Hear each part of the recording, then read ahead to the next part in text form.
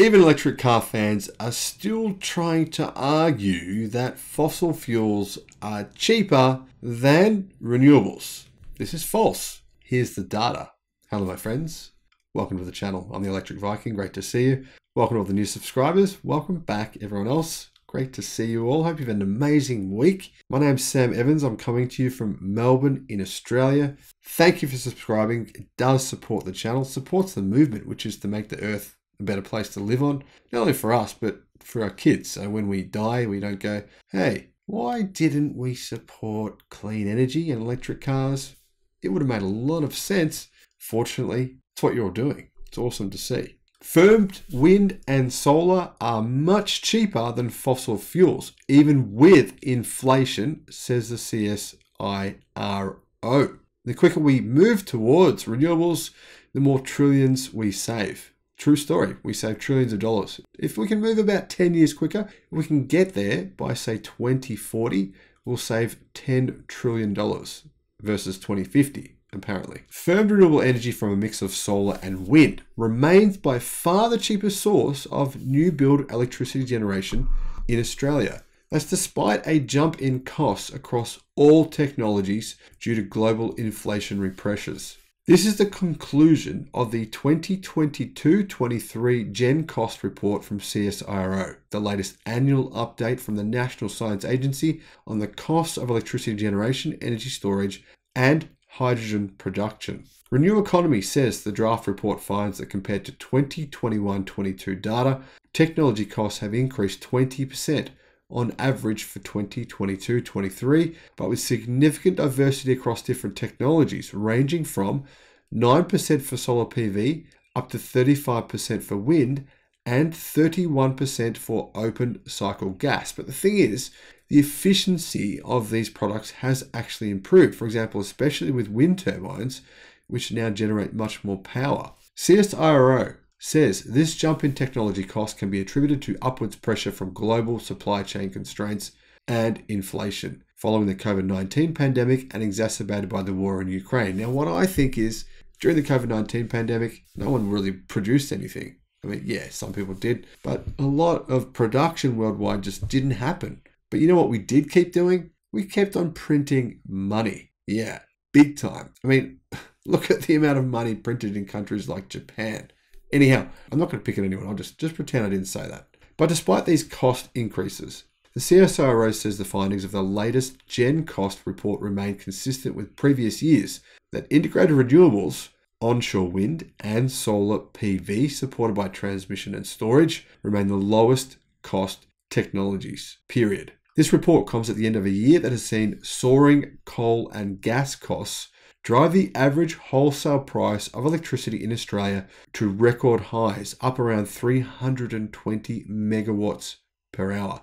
Now, the thing is, right, there is one area in Australia, one state, where the cost of electricity hasn't gone up at all. None. Zero, zilch, nada. Not at all. Interestingly, that is the only state in Australia where we have 100% renewable energy. And that, my friends, is not just some kind of strange coincidence. That is a direct result of, well, the sun doesn't change its cost to shine. Fortunately, the wind doesn't suddenly say, ha ha, I'm going to charge you more blow today. Isn't that awesome? Such has been the impact of fossil fuel costs on the affordability of electricity that the federal government this week rushed a controversial gas price cap legislation through Parliament, along with measures to urge and help households quit gas and go electric a measure that is already achieving some drops in electricity futures prices. Predictably, the move to cap gas prices has been slammed by the federal opposition. In other words, the other side of government. So basically, for us, the Republicans is the other side right now. And by the fossil fuel industry, who are furious because their profits are being curbed, even though they get billions of dollars in subsidies still, pretty much everywhere around the world, with Santos CEO Kevin Gallagher describing it as a Soviet style policy and a form of nationalization. Isn't this interesting? I mean, the fossil fuel industry has nothing to say about the trillions of dollars in subsidies they've received, but all of a sudden, when there might be a little uh, a break in those subsidies, or maybe potentially, God forbid, uh, a carbon cost mechanism, they're all crying and whining like children. But IEEFA's electricity and renewables analyst, Johanna Bowyer, says the measure is designed to work together with coal price caps, an electrification package, and the capacity investment scheme announced last week to ease upward pressure on energy prices while we shift to renewables. And that, my friends, is what they're really angry about. They're angry because, well, basically every coal power generation, fossil fuel station in Australia will shut down by about 2035. It's all being accelerated. Basically, Australia here, we've announced we don't want to continue burning fossil fuels because actually, well, the key reason is because it costs too much money. Seriously. While coal and gas price caps will put downward pressure on electricity prices in the short term, the proposed electrification package will help businesses and households cut energy bills permanently by helping them reduce reliance on expensive and high emission gas and improve the energy performance of their buildings, said Bowyer. The capacity investment scheme announced last week to drive 10 billion of public and private sector in renewables and storage. Battery storage is going crazy by the way here in Australia, which was started by Tesla, will also help insulate Australians against volatile fossil fuel prices and enable emissions reductions. It's worth pointing out that Australia used to be the biggest culprit in the world. Per capita, we were the biggest polluters per person in the world. Kind of embarrassing to be honest, when I read that news, and it was the case for many years. That, though, is starting to change. In fact, it has changed. We are now no longer the worst. Far from it, in fact. In fact, we plan on going to 90% renewables within eight years' time for the entire country. I think we're going to get there quicker than that. Now, in regards to the comment that this will drive public and private sector investment into renewables and storage, helping insulate Australians against volatile fossil fuel prices and enabling emissions reductions. The other side of government and the gas lobby and some mainstream media outlets say that this view aligns most closely with the data presented in CSIRO's latest annual report and the trends it projects. In other words, it's saying it doesn't agree, it's false information. Globally, renewables led by wind and solar are the fastest growing energy source and the role of electricity is expected to increase materially over the next 30 years, with electricity technologies presenting some of the lowest cost abatement opportunities, the CSIRO report says. The thing is, this is true even after factoring in the additional costs of new transmission buildouts, investment into energy storage, such as batteries, battery storage, and the ongoing use of peaking gas capacity to support the reliable supply of electricity under high shares of variable renewables, the CSIRO says. Now, the thing is, we just realized that we don't actually need these peaker plants to stabilize the grid. In fact, we don't need fossil fuels to stabilize the grid at all. In Adelaide, South Australia, renewables were used 100% when the grid was isolated for about a week, and it worked fine. The only thing we had to do was turn off some of the solar we're getting too much power from the solar panels.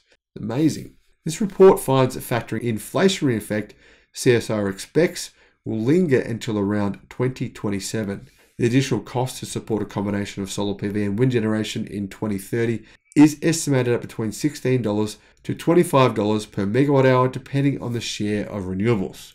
As you can see in these charts, by CSIRO's calculations, this puts the levelized cost of energy from firmed renewables somewhere between 50 to 100 megawatt hours, even with a share of up to 90% of variable renewable energy. This means it beats out every form of coal or gas generation and comes in well below the LCOE projections for coal and gas, with carbon capture and storage in 2030 as well as for nuclear. The annual process to update electricity generation, storage, and hydrogen technology cost trajectories is incredibly valuable as we plan for an accelerated transformation of the national electricity market, says Merryn York, the Australian Energy Market Operators Executive General Manager of System Design. Now, I've got to make a point here. On the Electric Viking Facebook group, right, which you come and join, why not? Come and join the group. People were arguing recently, saying there was a number of people, in fact, ganging up on someone else, saying the data you've posted here is wrong. Renewable energies cost way more, way more than gas, coal, nuclear, etc. That's what they were saying. Personally, I came on there And I said, You're wrong. That's just, that's the wrong information. Maybe the facts that they posted weren't correct, but you're wrong on those those statements you're making. Now they argued against me, saying that I was wrong. Anyhow, here's the info for you guys. Here it is, right on this page. Here's the data. This is coming from the CSIRO. I'm pretty sure they know more than you do when it comes to actually working out the numbers. So your back of the envelope numbers we've written on a piece of paper, they're, they're good. I mean, don't get me wrong. It's good that you've done that work. But I'm sorry, we're talking about here, this is a place where they have hundreds and hundreds of staff working out the exact numbers. The exact numbers, not the back of the envelope numbers that you've worked out. So this is the information.